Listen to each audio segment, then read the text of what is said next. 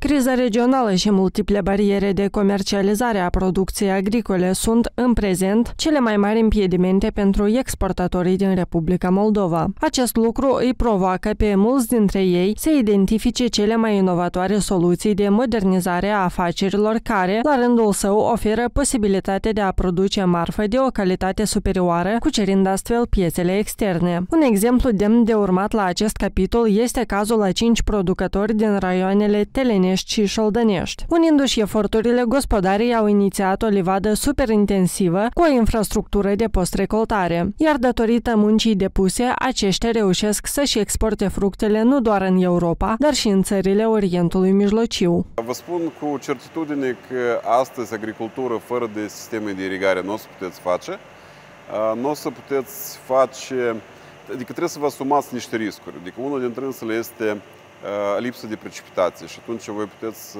vă asigurați cu uh, irigare pentru a suplini această lipsă de precipitații. Într-adevăr, sistemele de irigare pot fi dirijate de la telefon.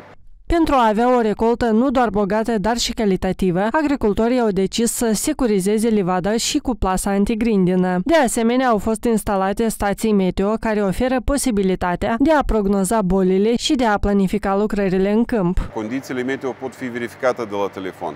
Alte condiții meteo, cum ar fi grindina, ați putea să vă asigurați cu sisteme antigrindină sau să instalați sisteme antigrindină pe televes.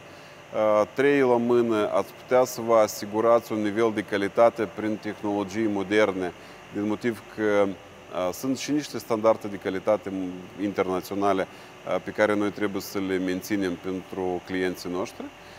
Și mai departe sunt inclusiv și alte momente care pot interveni în anumite circunstanțe, nu știu, înghețurile de primăvară, boli și dăunători, soluții moderne pentru a preveni, pentru a reduce numărul de pesticide și a reduce numărul de tratamente care sunt făcute. Datorită celor mai moderne instalații, fructele pot fi sortate cu ușurință, iar camerele frigorifice permit păstrarea producției un timp mai îndelungat. Aspectul produsului foarte mult contează, inclusiv și merele, dar și multe alte produse agricole trebuie să fie pregătite pentru a ajunge pe, pe raft. Ele sunt uh, spălate, ele sunt uh, sortate uh, sau produsele necalitative, adică nu, nu sunt livrate, sunt calibrate după mărimi, din motiv că sunt anumite cerințe pentru mărimi ale produselor,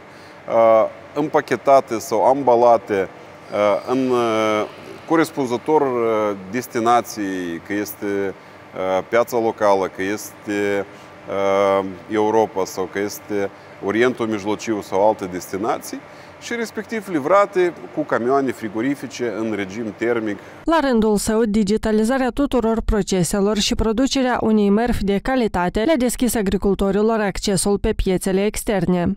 Un aspect important a fost obținerea certificatelor de calitate. Este vorba de Global Gap și GRASP. Acest lucru deja le-a permis să livreze marfa atât în țările europene, cât și în cele ale Orientului Mijlociu. Am exportat în foarte multe țări, am exportat practic în toate țările Orientului Mijlociu, am exportat uh, în Uniunea Europeană, am exportat uh, uh, în țările CSI, Practic am avut toate exporturile, atât auto cât și pe mare și este, nu este nimic nou, adică acest lucru se face și noi ca producători încercăm să ne reorientăm către acele destinații unde există solicitare de mere. Potrivit experților, în comparație cu livezile clasice, care dau o recoltă calitativă de aproape 55%, în cele moderne roada superioară este de aproximativ 95%.